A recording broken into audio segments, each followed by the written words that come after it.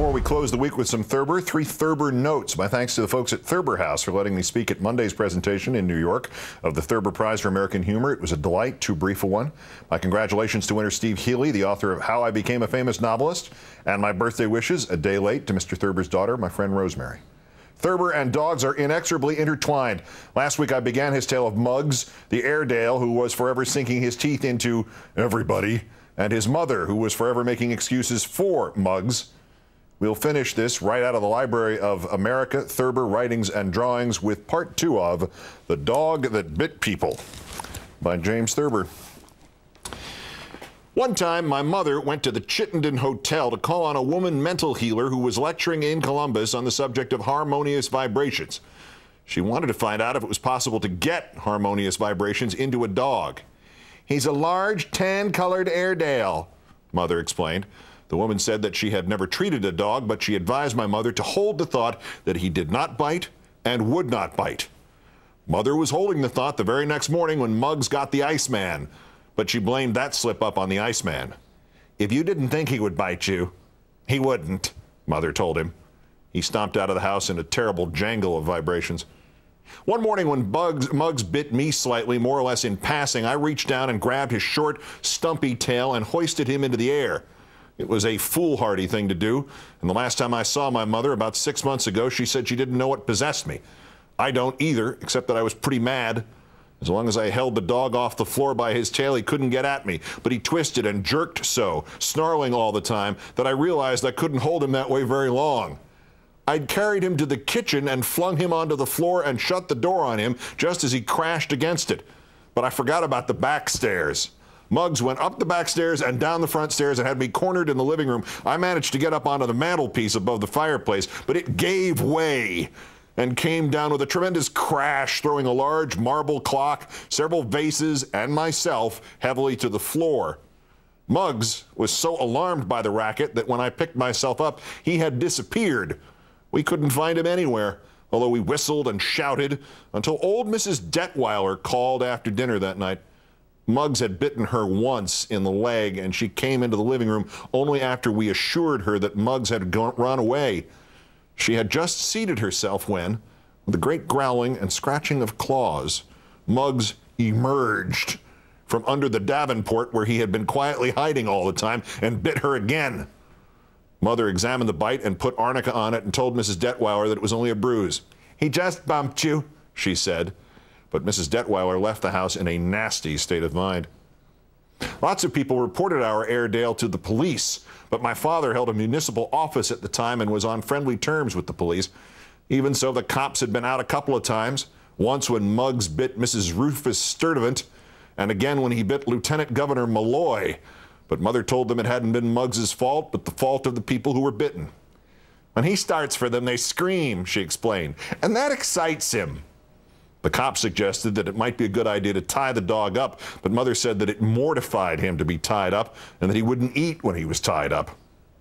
Muggs at his meals was an unusual sight because of the fact that if you reached toward the floor, he would bite you. We usually put his food plate on top of an old kitchen table with a bench alongside the table. Muggs would stand on the bench and eat. I remember that my mother's uncle Horatio, who boasted that he was the third man up Missionary Ridge, was splutteringly indignant when he found out that we fed the dog on a table because we were afraid to put his plate on the floor. He said he wasn't afraid of any dog that ever lived and that he would put the dog's plate on the floor if we would give it to him. Roy said that if Uncle Horatio had fed Muggs on the ground just before the battle, he would have been the first man up Missionary Ridge. Uncle Horatio was furious. Bring him in! Bring him in now! he shouted. I'll feed the. Mm, on the floor. Roy was all for giving him a chance, but my father wouldn't hear of it. He said that Muggs had already been fed. I'll feed him again, bawled Uncle Horatio. We had quite a time quieting him. In his last year, Muggs used to spend practically all of his time outdoors. He didn't like to stay in the house for some reason or other. Perhaps it held too many unpleasant memories for him.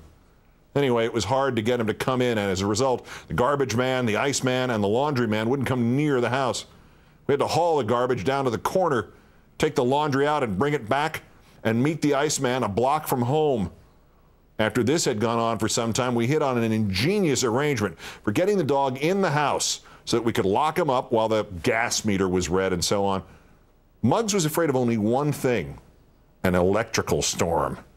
Thunder and lightning frightened him out of his senses. I think he thought a storm had broken the day the mantelpiece fell.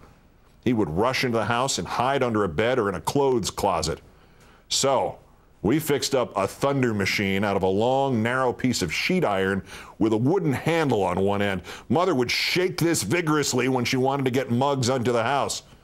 It made an excellent imitation of thunder, but I suppose it was the most roundabout system for running a household that was ever devised. It took a lot out of Mother. A few months before Muggs died, he got to seeing things. He would rise slowly from the floor, growling low, and stalk stiff legged and menacing toward nothing at all. Sometimes the thing would be just a little to the right or the left of a visitor.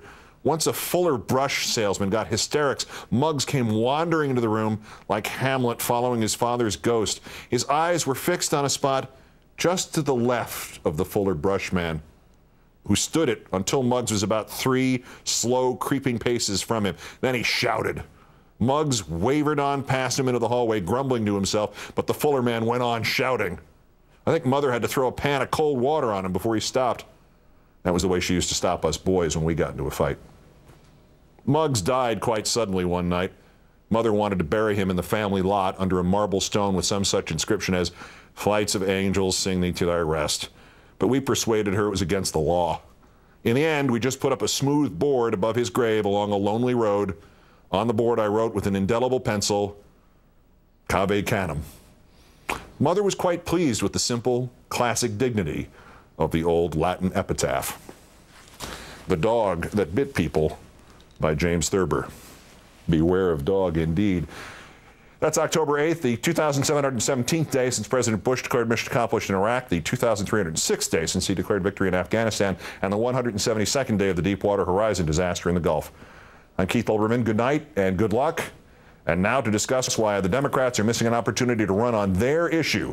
Ladies and gentlemen, here is Rachel Maddow. Good evening, Rachel. Good evening, Keith. Thank you for that. Have a great weekend. You too. And thanks to you at home for staying with us for the next hour.